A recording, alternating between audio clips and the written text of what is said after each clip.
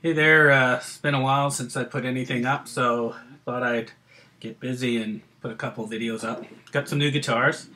Um, the one I'm doing today is this one. It is the ES Les Paul. It is made by the Gibson factory in Memphis that makes all the ESs, so it's a hollow body Les Paul.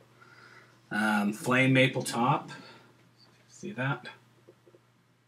Um, you know, it's it's a Les Paul for all it's worth. Um, just a hollow body.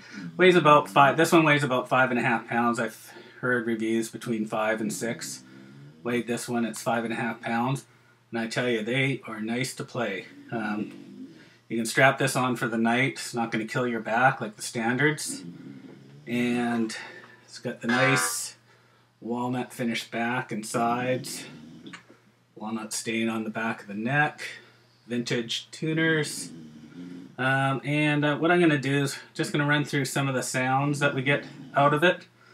So um, I'm going to put it together. I'll put some notes up um, saying what what the settings are um, and playing through a orange TH30 with a 112 cab and a couple of effects pedals.